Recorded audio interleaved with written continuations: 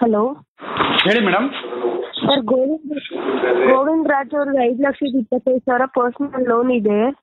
ಹಾಂ madam. Apply ಮಾಡ್ತೀರಾ Bajaj finance ಇಂದ? ಮೇಡಮ್ ಎಷ್ಟು madam interest hello. Hello.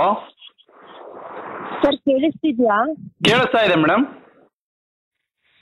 Sir Bajaj ಇಂದ ಗೋವಿಂದ್ ರಾಜ್ ಅವರಾ? ಹೇಳಿ ಮೇಡಮ್.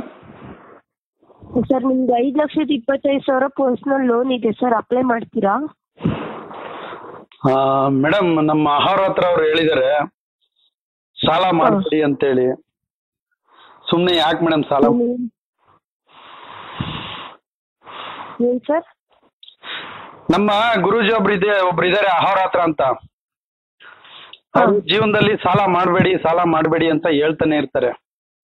ಹಂಗಾಗಿ ಸುಮ್ ಸುಮ್ಮನೆ ಸಾಲ ಏನಕ್ಕೆ ಅಂತ ಹೇಳಿ ಮೇಡಮ್ ಓಕೆ ಸರ್ ಇವತ್ತು ಓಕೆ ಓಕೆ ಮೇಡಮ್ ಅಹೋರಾತ್ರ ಹೇಳೋದಲ್ವೋ ಅಹೋರಾತ್ರನಿಗೆ ಅನುಭವ ಪಾಠ ಕಲಿಸಿದ್ರು ಭಗವಂತ. ನೀವು ಹೇಳಬೇಕು ಇದನ್ನ ಮುಂದಿನ ಪೀಳಿಗೆಗೆ. ನಿಮ್ಮ ಮಕ್ಕಳಿಗೆ ಮೊಮ್ಮಕ್ಕಳಿಗೆ ಮರಿ ಮಕ್ಕಳಿಗೆ ಹೇಳಬೇಕು ಇದನ್ನ. ಆಗ ಮಾತ್ರ, ಹಾಗಾದಾಗ ಮಾತ್ರ ವಿಶ್ವ ಖ್ಯಾತಿಯಾಗುತ್ತೆ ನಮ್ಮ ದೇಶ. ಹಿರೋಶಿಮಾ ನಾಗಸಾಕಿಯ ನಾಶದ ನಂತರ ಸಾಲವಿಲ್ಲದೆ ಬದುಕುವುದನ್ನ ಕಲಿಯಲು ಪಣತೊಟ್ಟರು ಜಾಪಾನಿಯರು. ಆದರೆ ಆ ಮುಗ್ಧ ಜನ ದೇಶವನ್ನ ಮುಂದೆ ತಂದರು. ತದನಂತರ ಮಕ್ಕಳಿಗೆ ಆ ಕಿಚ್ಚು ಕಲಿಸಲಿಲ್ಲ. ಸಾಲದ ದುಷ್ಪರಿಣಾಮ ಕಲಿಸಲಿಲ್ಲ, ಯುದ್ಧದ ದುಷ್ಪರಿಣಾಮ ಕಲಿಸಲಿಲ್ಲ, ಕಾಯಕದ ಸತ್ಪರಿಣಾಮ ಕಲಿಸಲಿಲ್ಲ.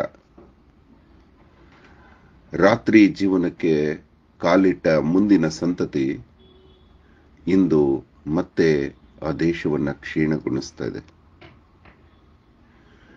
ನಾವೊಬ್ಬರು ಸಾಲ ಬಿಟ್ಟರೆ ಸರಿ ಇಲ್ವೋ, ನಮ್ಮ ಮುಂದಿನ ಪೀಳಿಗೆ ಕೂಡ ಸಾಲ ಮಾಡದಂತೆ ನೋಡಬೇಕು ಬಂಗಾರು.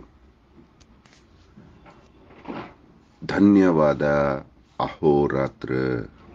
ನಿಮ್ಮ ಮಾರ್ಗದರ್ಶನದಂತೆ ನನ್ನ ಸುತ್ತಮುತ್ತಲಿನಿರೋ ನನ್ನ ಸ್ನೇಹಿತರಿಗೂ, ನನ್ನ ಕುಟುಂಬಸ್ಥರಿಗೂ, ನನ್ನ ಪರಿಚಯಸ್ಥರಿಗೂ ಎಲ್ಲರಿಗೂ ತಿಳಿಸ್ತೇನೆ ಅಹೋರಾತ್ರ. ಯಾವುದೇ ಕಾರಣಕ್ಕೂ ಸಾಲ ಮಾಡಿ ಜೀವನ ಹಾಳು ಮಾಡ್ಕೋಬೇಡಿ. ಕಷ್ಟಪಟ್ಟು ದುಡಿದು ಜೀವನ ಮಾಡಿ ಅಂತ ಹೇಳ್ತೀನಿ.